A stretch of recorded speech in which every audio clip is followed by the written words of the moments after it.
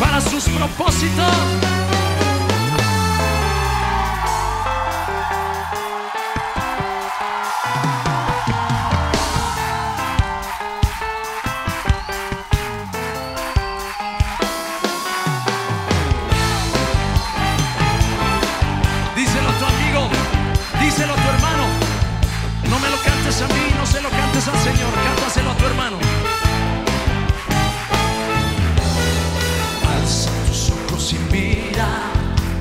La cosecha está lista, el tiempo ha llegado, la mies está madura. Esfuérzate y sé valiente, levántate y predica a todas las naciones que Cristo es la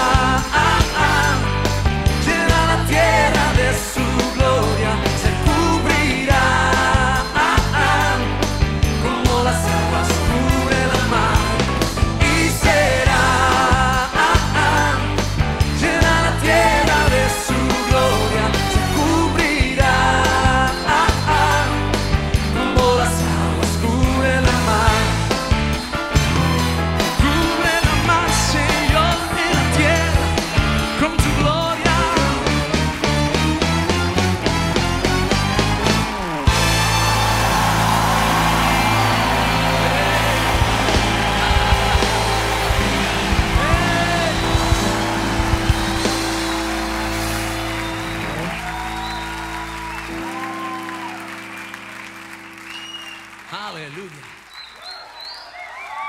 Estamos dando testimonio. Y dice la escritura que los redimidos han vencido al diablo por la sangre del cordero y por la palabra de su testimonio. Y eso es lo que hacemos esta noche, damos testimonio de que el cordero de Dios ha vencido, de que Él está exaltado sobre los cielos y la tierra es el estrado de sus pies. Y cuando nosotros hacemos eso, entonces mi querido hermano, mi querida hermana, en el ambiente empiezan a romperse todos los estorbos y todas las barreras y la mentalidad de derrota y la mentalidad de opresión empieza a ser quebrada por el poder de la sangre de Jesús.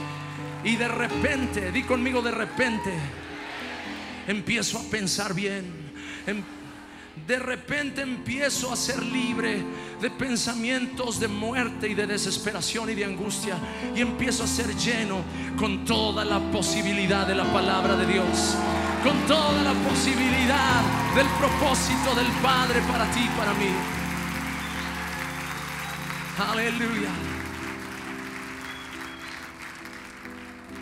Y es allí cuando oímos la voz de Dios, cuando oímos el sonar de la trompeta, cuando escuchamos el estruendo del cielo.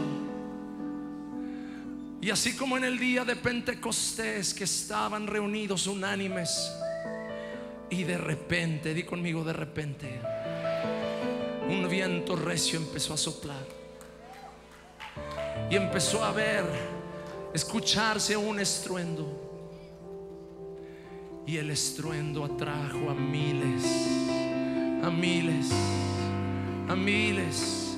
Miles comenzaron a ser convocados por el sonido del cielo y empezaron a golparse ahí donde se encontraban los 120 y empezaron a decir, ¿qué es lo que escuchamos?